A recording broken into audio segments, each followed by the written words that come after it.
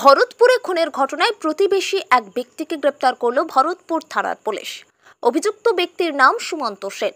অভিযুক্ত ব্যক্তিকে রবিবার ছয় দিনের পুলিশ হেফাজতের আবেদন জানিয়ে কান্দি মহকুমা আদালতে পেশ করে ভরতপুর থানার পুলিশ। প্রসঙ্গত, গতকাল সকালে প্রতিবেশী বন্ধু সুমন্ত সেনের সঙ্গে প্রাতভ্রমণে বেরিয়ে খুন হয় রাসায়নিক সার ব্যবসায়ী কাজল দত্ত। মৃত ব্যবসায়ী কাজল দত্তের পরিবারের লিখিত অভিযোগের ভিত্তিতে পুলিশ সুমন্ত সেনকে গ্রেপ্তার করে।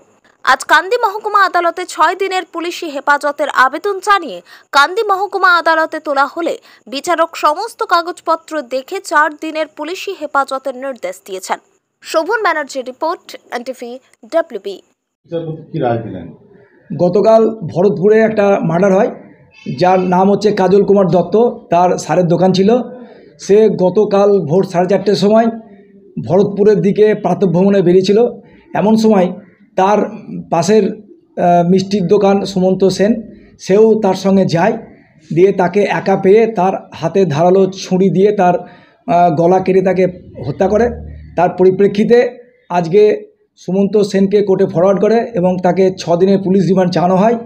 কেননা যে অস্ত্র দিয়ে তাকে মারা হয়েছে সেই অস্ত্রটা রিকভারি করার জন্য কোর্ট সমস্ত দেখে কাগজপত্র দেখে এবং সিডি দেখে তাকে চার দিনের পুলিশ রিমান্ড অ্যালাউ করে।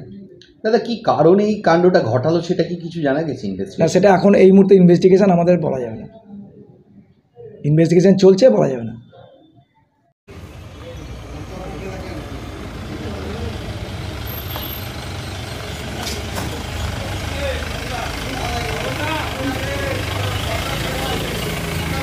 মুখ ঢাকছে আবার।